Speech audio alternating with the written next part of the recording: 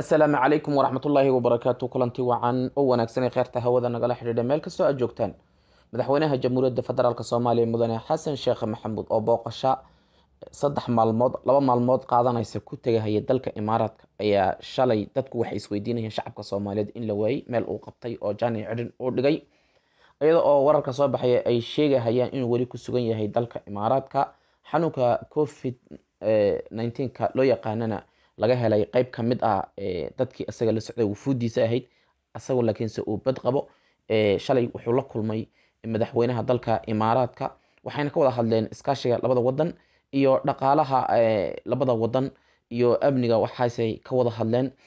Waxaa kaloo wararkeena iyadana ku jira ra'iisul wasaaraha xamse ayaa xalay wuxuu la kulmay madaxdii hore ee dalka soo martay mudane sheekh shariif sheekh axmed iyo madaxweynihii asagana xilka ka digay ee maxamed cabdulaahi farmaajo. Labadaasoo ayagana talooyin gaargaara siiyey waxayna ay ilaahay oga baryeen inuu xilka markii loo dhaariyo oo la siiyo kalsoonida codka kalsoonida inuu si waajib ahoo ay ku dheeman tahay wadaninimo inuu xilkiisa u guto. Wararkaasna waxaa faahfaahin doona ishana ku hayay saaxiibkay cabdi cabdi welcome soo dhowow waa mahadsan tahay ninka la yihahdo mahad colaad sidaa u sheegta waa wararka ninka madaxweynaha xasan sheekh maxamuud wuxuu ku sugan yahay wadanka isu taga imaaraadka carabta. Dad fara badan ayaa waxay soo geliyeen baraha bulshada in madaxweynihii lala-yahay in uu xanuunsan yahay in covid nineteen laga helay in warar kale ay jiraan inuu israael joogo oo israael aaday. Marka waxyaabahaasoo dhan waa kutirikuteen waa warar baraha bulshada ee lagu kala kacsanayo. Xataa waxaan arkaya youtubera ayagana dhahaya xasan maxamuud woo dhintay oo ambulance intay saareen asagoo meyd ah ay dhahayaan woo dhintay marka dadka shacabka soomaaliyeed haska ilaaliyaan waxyaabahaasoo kaleeto waa dad rabo in views ay ku helaan.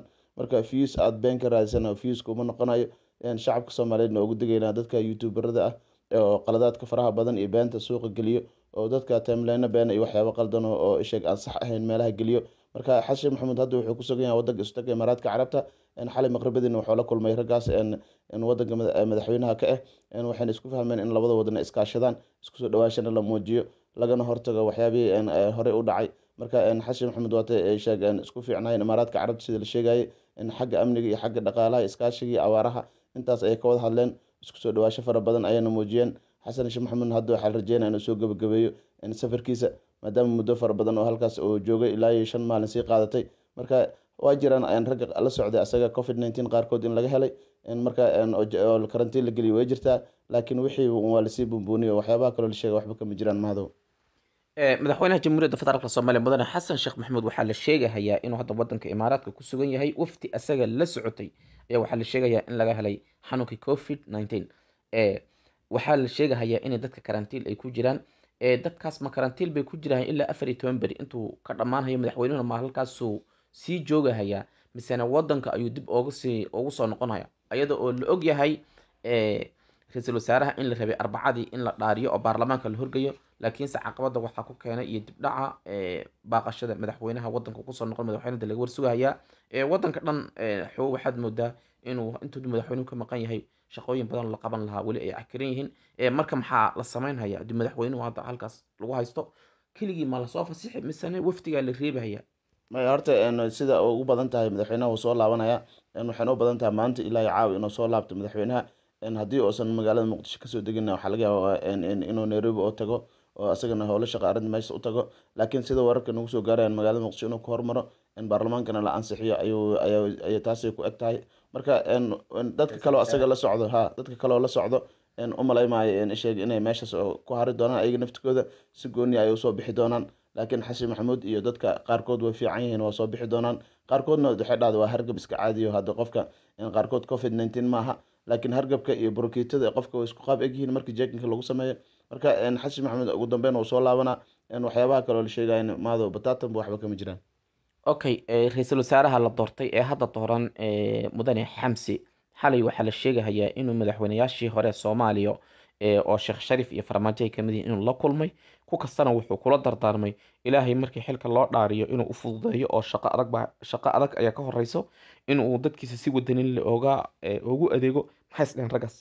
Walaahi horta ra'isul wasaaraha xalay dad fara badan ayuu booqday labadaas nin keliya ma ahin dad aada u badan ayuu booqday xalay oo madax ahaa marka waxaan ka hormareynaa maxaa cabdullaahi farmaajo ayuu ugu tegay gurigiisa uuna ku booqday?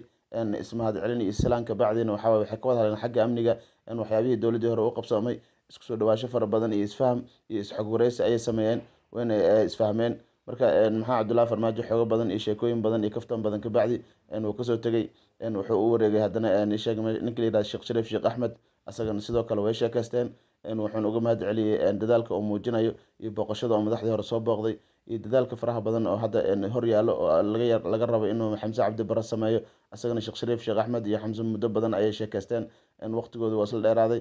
Markay cabaar sheekaysteen oo isfahmeen oo xogaha iyo amniga iyo dhaqaalaha iyo wax walba iyo qaabka dowladnimada tahay haddana ay isku fahmeen. Haddana uu ka sii tegey wuxuu u sii gudbeeyey xasan cali kheyr wasaarihii ugu muddada dheeraay ee saddex sane bar xukuumaddiisa shaqeynaysay maxamed cabdullahi farmaajo la soo shaqeeyey. Asagana way isfahmeen. Way sheekaysteen marka kheyra weliba isku dheeraadeen oo muddo fara badan ayay kaftameen oo waxay iska wareysteen ayadana xagga amniga xagga dhaqaalaha xagga dowladnimada. Kheyrana wuxuu ku biiriyey xagga oo ka haysto ra'isul wasaaraha fikirkiisa. Marka baarlamaanka federaalk soomaaliyana uu u rajeeyey inay baasmariyaan culeysna inuu ilaahay u fududeeyo shaqo fara badan ay hortaalo marka xamse cabdi bare waxaa dhihi karaa ninka ugu macquulsanaa dadka madaxdii hore booqday isku soo dhawaasho fara badan sameeyey. Isagoona weli baarlamaanka laga ansixinin oo hadda weli baarlamaanka hortegin ayuu dadaalkaas faraha badan uu isheeg sameeyey. Xasan cali kheyrna wuxuu ku bogaadiyey shaqada aad hadda qaban doonto waa shaqo aad dhabar adeeg u baahan. Maahan shaqo oo jiljilaac iyo macnaha u baahan oo isheeg maanta inaad ka aamusto maaha shaqo adag oo aada u badan oo xagga ciidamada iyo xagga dowladnimada ayaa ku hortaalo. Eedo fara badanna waa la kulmi doonta ayuu dhahay maadaama ay rasaaro tahay. Marka waxyaabahaas o dhan inaa dul qaadataa loo baahan yahay. Dowladnimada inaa hore u wadaa loo baahan yahay marka dadaal fara badan iyo waxaa loo baahan yahay kalsooni inaad sameysid baarlamaankana inay ku baasmariyaan ku rajeyna dheh okay ra'iisul wasaaraha waxaa la sugahayay in maalinka arbacada ee aan soo dhaafnay in baarlamaanka la horgeeyo baarlamaankuna kalsoonida ay siiyaan. Hase ahaatee weli kalsoonidii lama siinin. Arrintaana waxaa caqabad ku noqota ladhahay madaxweynaha oo ka maqan lamana oga baarlamaanku laftooda laba fadhio hore oo guddoonka baarlamaanku ugu tegay xarunta baarlamaanku uu iska leeyahay. Baarlamaanku kala way soo xaadiri waayeen.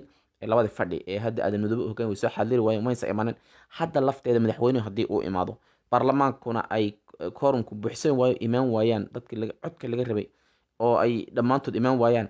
Ka warranso arrintaa caqabad maku noqon doonto ra'iisul wasaare? Wallahi horta haddii mar oo meesha uu soo gaaro xasan maxamuud ninka la yihahdo gudoomiyaha baarlamaanka sheekh aad maxamed sheekh aad madoobna uu soo gaaro wadanka kooram la'aan ma suuragelayso waxaa la ansixina waa ra'iisaarihii soomaaliya. Shaqo adag oo culus ayaa hortaalo. Xildhibaanadana waa tii loo digay. Ninka la yihahdo aad madoobe ka hadlaya wuxuu dhahay xildhibaanadu waxay la maqan yihiin waa gunooyin la'aan. Marka gunooyinkii la siin jiray maysan helin marka waxyaabo kale ayay raadsadeen. Laakiin hadda dowladdii hadday bilow tahay gunooyin iyo waxyaabahaas in weli lama ansixinin oo welina lagama hadlin. Laakiin wuxuu dhahay xildhibaanadu waa gunooyin guno la'aan marka waxaan u malaynaya inay imaan doonaan baarlamaankana la ansixin doono muddo sheegeen hadda xasan cali markii dowladdiisa la ansixinayay si nadiifa laba boqol iyo konton miya ansixisay. Isagana waxaan u malaynaya xamse cabdi bare inay sidaasoo kale ansixin doonaan.